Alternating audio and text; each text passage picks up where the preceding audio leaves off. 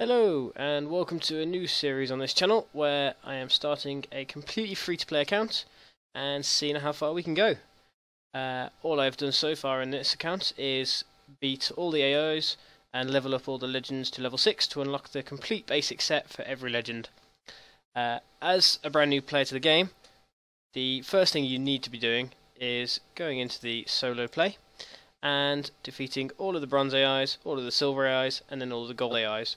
They will give you three packs that you can open, which you can see in my my packs area. I haven't touched them yet. Um, and also it gives you a fair little, little, bit of copper here, which will get you going uh, with either dungeoneering runs or opening more packs. Uh, and as you can see as well, if you go into the quests area, uh, I've got my dailies, uh, which are loading up every day. And also, because I have reached level 20 across my uh, six, five legends, uh, I've opened up my first epic quest, and that's if as soon as I complete that, that's straight away another pack at least.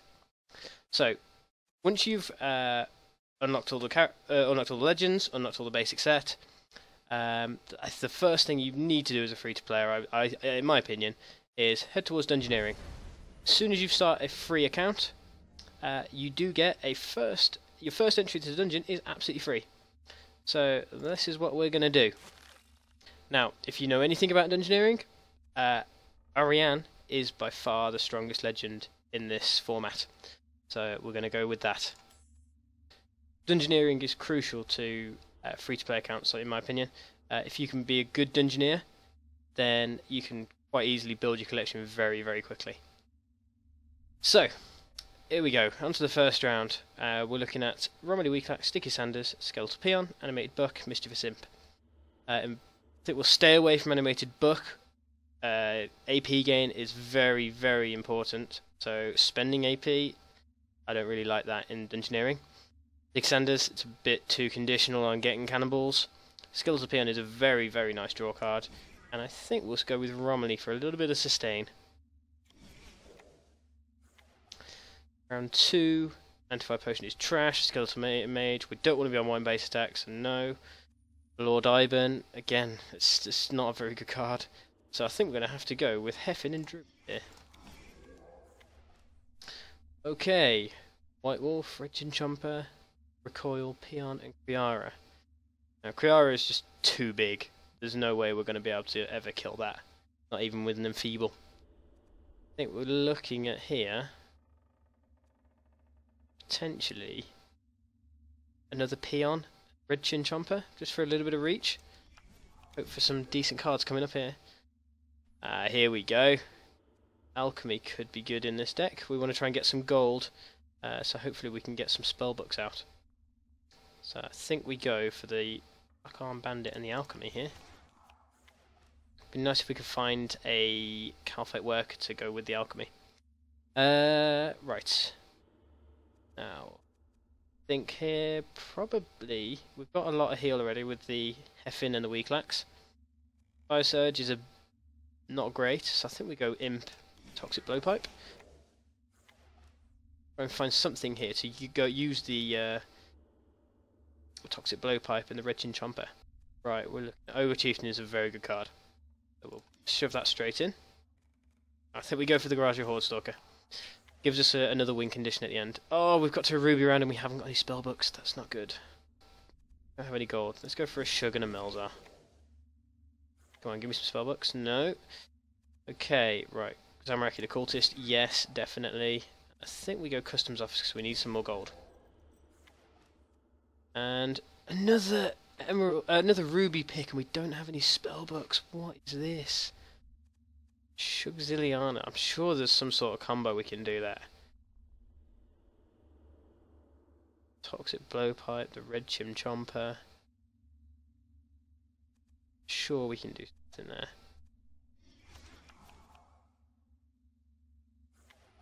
Round 11 now. Goblin Trickster is definitely a good card here. Dead. We use it on anything here. Nope, so that's a dead card. I think we go Rowdy Cannoneer. Lunar Spellbook, go straight in. Let's take another one. Uh, no, let's go for Melzar. Let's try and make them draw lots of can uh, cabbages. Uh, ooh, under dragon. Now, the enfeeble shug combo is here. If we no, we haven't got an enfeeble. Um, right, we're going for Ali definitely. Easy gold game. I think Death Lotus. Ooh, Death Lotus. That could be handy here as a finisher. We are spending a lot here. Spending 14, 17, 19, 21, 22 gold. We're only creating 18 plus the 3. I'm going to take the Death Lotus here. Uh, right, we're going to go for a Zamorakian again. It's a lovely card in Dungeoneering. It's it, in Dungeoneering. It's very difficult to play around. Or it can be very difficult to play around the asphyxiates that uh, Zamorakian occultists give you. And thank for some more gold grain and potentially a little bit of grief. Uh, we're going for here. Customs officer and another goblin trickster. And now let's see what diamonds we get. Oh dear. What is that all about? Um, right, Zulrah's bugged at the moment, so we're not going to pick that. I think we take Death and Darek here. Got plenty of gold here. And uh, uh, we could do something quite nice here with the Death and the Vengeance from the Lunar Spellbook. It's very hard to defend. So yeah, we're going to go for the Darek, because if we if we are behind, at least we can get a little bit of AP gain and start killing things a lot more efficiently.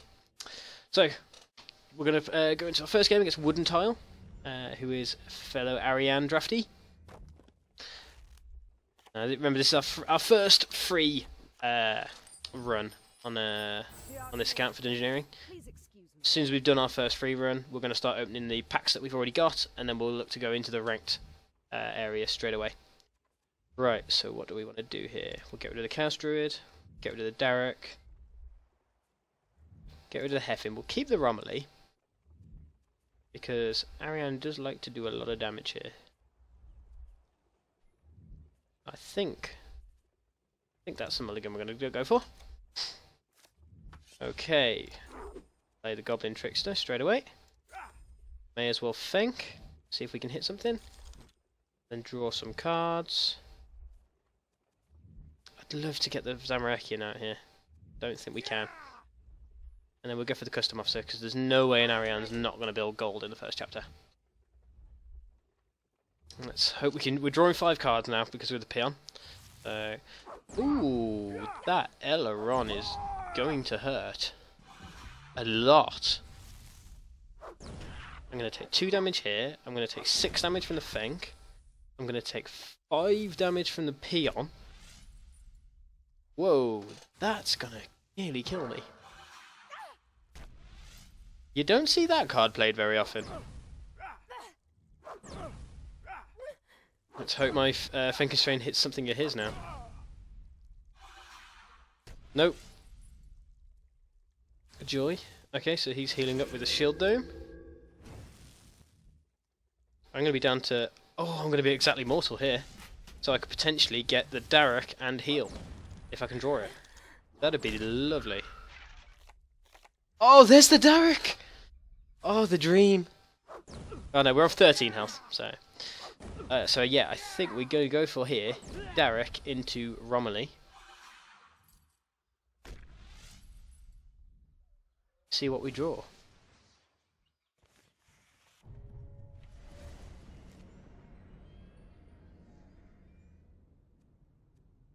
I, I've got the toxic blowpipe into Zamorakian Occultist here as well. Oh, all the heals. That is not a bad chapter. I've also got the Heffin if I really need to heal again, but I am healing 10 already. That seems like a pretty good start. That Aileron has done me a massive favour, to be fair, because I would be struggling to get down to mortal otherwise. So, Goblin Trickster, though there goes my Lunar Spellbook, I'm guessing. Yep, there it is. That's one of my big win conditions gone. Goblin Tricks is such a good card in Dungeoneering, to be fair. Uh, he's tanking a hit from a Kalphite Emissary for no reason. Maybe trying to predict a weapon. But the Romily Weaklax gets me back up to 20 health. I'm in a pretty good position here now. Melzar. Okay, so he's going to take another 4 damage, which is good for me. Let's hope I don't start drawing some of these cabbages.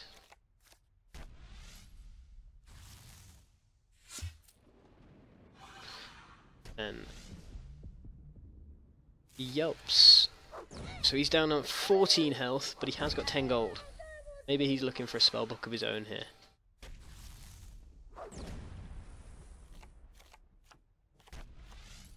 Okay, now he's got to think about trying to play around these asphyxiates. I might hold them back here, because he's only got two cards in his hand. And you'll only have five after drawing, so he's not going to have many options. So, could do here. Red Chinchompa into Ogre Chieftain. In fact, no, what am I doing? I want to try and get a load of gold here. So let's go for that. We'll go for another asphyxiate. No, no, here we go. We want to go Shug to Red Chinchompa into Ogre Chieftain and we one hit it. Yep, let's do that. Okay, we're to get 7 gold from this customs officer, that's lovely. So now we can afford things like the Gorajo Hoardstalker for the end of the game. I highly doubt he would have drafted a Frank in this deck. Anti-fire potion. Just using it for the heal. Pretty good for me. He seems to have drawn dead here. I mean, he's going to be down to 3 HP. No, he's going to be on 1 HP thanks to the 2 damage from the Red Chomper as well. I think we could be seeing a concession coming in here. We're in a pretty good position. That that Aileron has actually lost him the game. Because it's got me perfectly down to Mortal, and then the top decked Derek. That's not bad.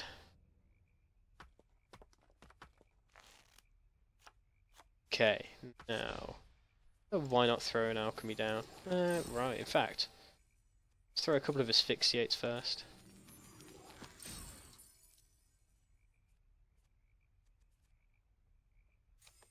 I'm ready. I don't think we Zamorakian Occultist again. Might as well throw down a Chaos Druid, see what see what potion it throws up if if he survives. Okay, so my alchemy's not going to resolve, but that's not the end of the world. This hopefully will kill him though. Nope, he hasn't played any monsters. Okay. Granite Maul. Okay, so the alchemy's not going to resolve. Chaos Druid, let's see what potion it gives me. Saradomin Imbrue, a completely useless one. Thank you very much! Okay, so we're still in a good position here. Uh, if we can gain one more gold, which we can through the Melzar. Really have to.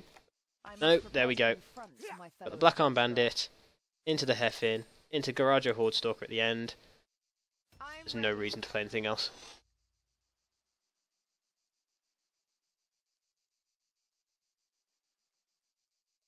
I don't think there's an easy way here for, for him to come back.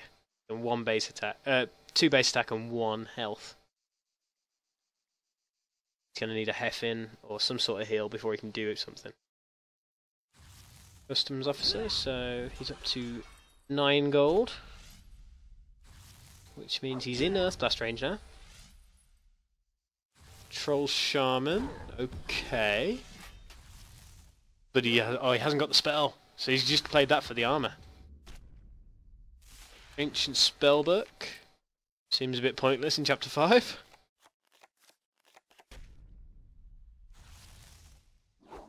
I'm a Goblin Trickster that doesn't hit anything. So, that's our first game in uh, Dungeoneering on this new account. Uh, we've won it. We're off to a good start. And uh, hopefully what you'll see on this first run, is if I go on a decent run, you'll be able to see how quickly the uh, the rewards stack up.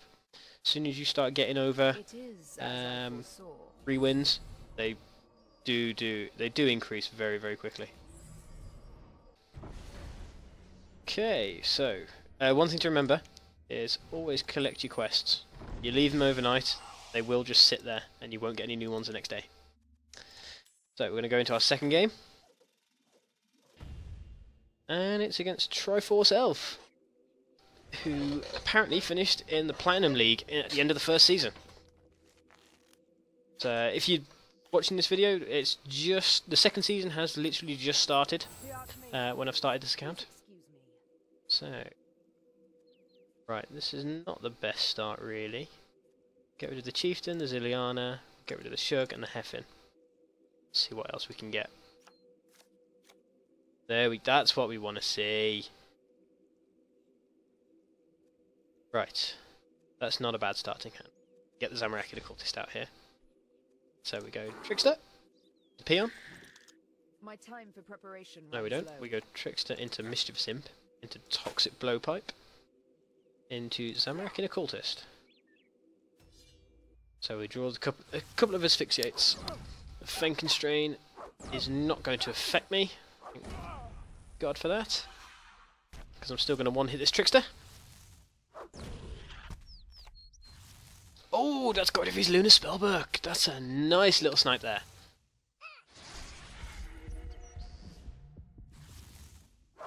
Imp, what can we draw? It's a Shug, okay, that, maybe that'll be useful for something. So he's on 8 gold, he's looking for a spellbook. Hopefully he's only drafted one. We're not going to get the heal from the blowpipe, but that's not the main reason for the card. It's for the reach into the Zamorak the Cultist. Okay, so now he's got something to think about with these asphyxiates. I'm going to hold on to them though. Uh, he's only got a few cards, so he's not got many options. So, let's not waste them. Ooh, that's a spellbook. Icon Bandit into Melzar into spellbook. Won't overdraw. Well, I, I will overdraw, but I'll have the spells. Let's go for it. We want to try and get it out as early as we can. Give ourselves some options. Rants. Okay, so he's trying to reach into something. That's a Zamorakian of his own. So uh, there'll be a couple of asphyxiates coming down soon. Oh, if I'd have played my first asphyxiate, he'd have done taken 14 damage. Oof. He's got lucky there. He's he's got very lucky there.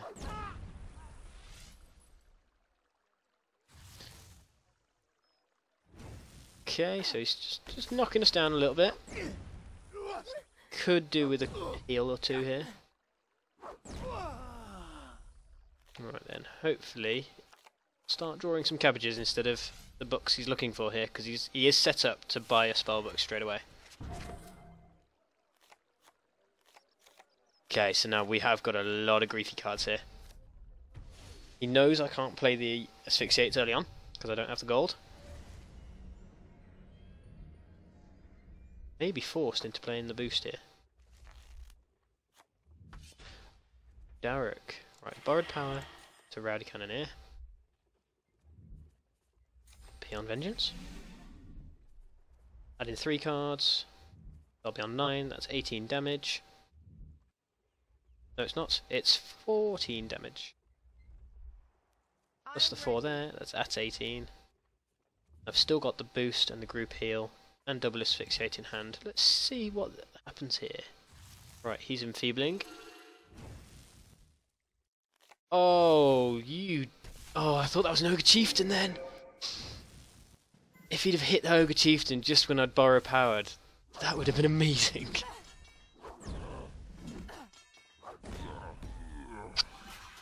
Okay, so he's gained a base attack, but he has given me some armor, which is nice. I've got to try and burst him down here enough so that the extra base attack at the end isn't going to affect him. Oh, and Morwenna in the middle of the chapter. That's that's interesting. I'm going to take four damage from the skeletal peon, which the armor I've just got will actually absorb most of. And that isn't going to really uh, to remove anything because I've already played the spellbook. Okay, so I've got him down to 15 health. I'm on 18, however, so I'm not in a great position. Now, he hasn't played around any of the grief cards here, so very tempted to slow him down a boost. Yep, got to here. Uh, and then can we shug into anything? Oh, we cannot.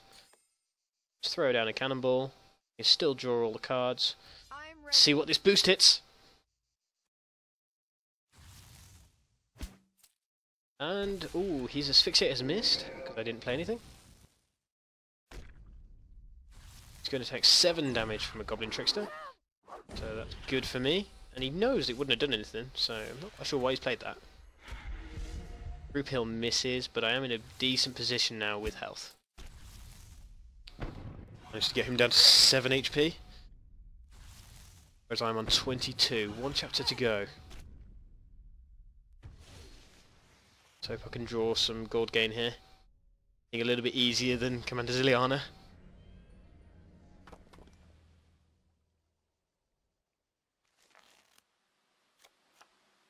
I must prepare to confront my fellow adventurer. Okay. Now, has he played his boost? I... Oh, he's conceded. I didn't have to work out if he'd played his boost or not. That was not as Excellent. So we are thought. 2 0 on our first dungeoneering run. Right, we're going to go into our third dungeoneering round this episode. See what we come up against now. So far, it's been a couple of Arians, and we've fared relatively well. It's a Linza. Now, Linza could be very awkward to, get, to come up against, depending on what they've drawn. They've got it. If they if they've drawn a couple of Dust Devils and Karams, then it's very very difficult to beat. Um, as well, they've got the other way around. Whereas if they've drawn a couple of Tetsu Katanas, then you're pretty much screwed. Looks like I'm going first. Okay, so do we want? Uh, I don't think we keep the Regin Trumper. The Shug. Yeah, keep the Regin Trumpet.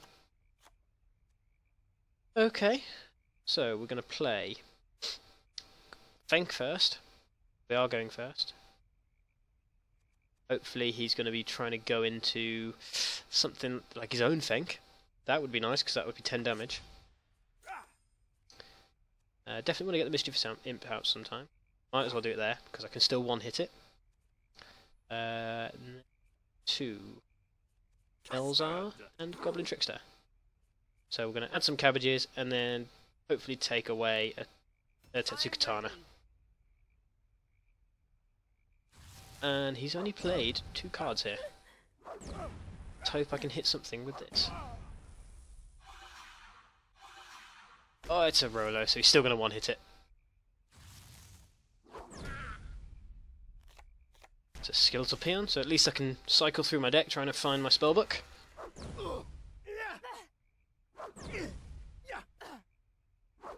It'd be nice if I could get another Melzar off here. Make him keep drawing cabbages.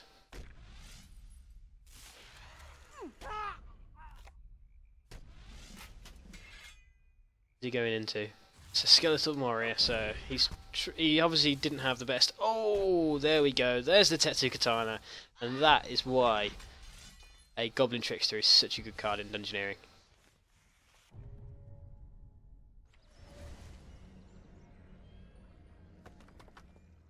Okay, let's see what we draw here.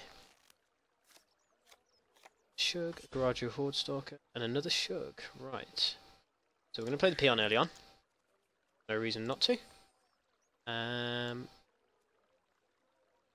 do we carry that across? Need to, I'm is there? ready. Uh, we'll just we'll just draw some cards and get some um, gold. Rowdy Cannoneer and Death. Bye, Garage of Hordstalker. Okay, so he's building up to buy a big weapon here. See you again. Just gotta hope he doesn't draw anything useful. It is good to see you again. Oh, it's a Rants. To a White Wolf. Uh, he's still cycling through his deck trying to find something. Now, I can play a max value death here. But I really want to combo it with something. Let's see what I can draw.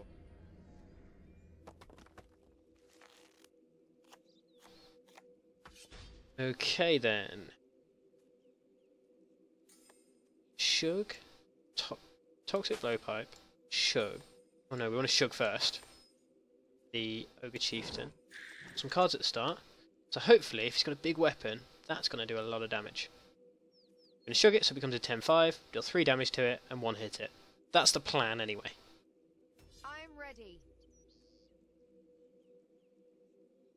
Such a such a useful card in Dungeoneering, trying to help you kill big creatures that you that you otherwise wouldn't be able to. He's playing some cabbages. Hopefully, he's enjoying these. Troll chucker. Okay. Come on, buy a big weapon.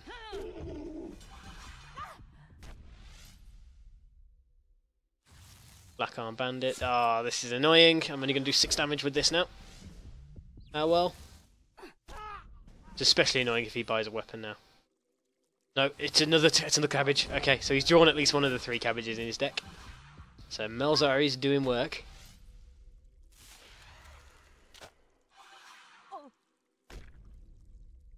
Okay, it's still pretty close this match. Both got a lot of gold, similar health, still on 2 base attack.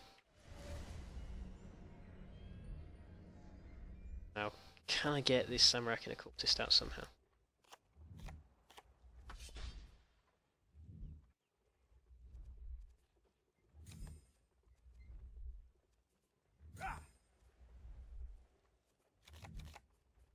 Right, I want to get that out together. That's 12 damage. I might not That's 20 damage there. Quite got enough gold.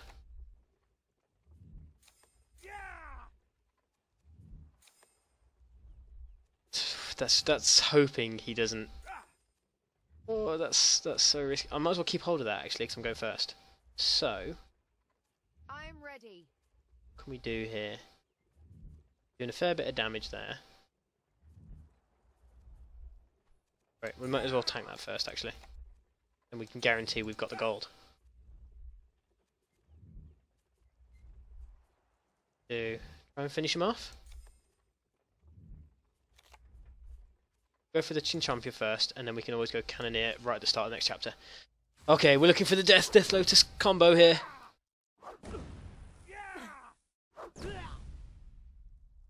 Okay, so that's another six gold. Death Death Lotus, here we go. Talk chill. Oh, he's removing two health as well after I've played Death. Oh, he's so low. Tormented Demon. Oh, yes.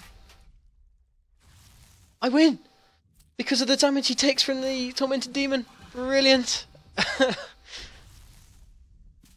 oh, what a way to win a Dungeoneering game. Death isn't this total useless card that I thought it was. Uh, just tanking the hit from the Tormented Demon just to finish him off. Okay, so we are 3 and 0 with our first dungeoneering run. And we're getting closer to those platinum ingots that we can spend on more dungeoneering runs in the future. Okay, so I think that's a good good place as any to finish our first episode. Um, I'm going to be trying to do this as often as I can over the next few uh, few weeks. So all of you who are free to players can kind of see the best ways of building your collection early on. Because I know it's disheartening when you come up against people who have got more cars than yourself, but it really doesn't take long at all to build your collection up. So, uh, I'll see you all next time.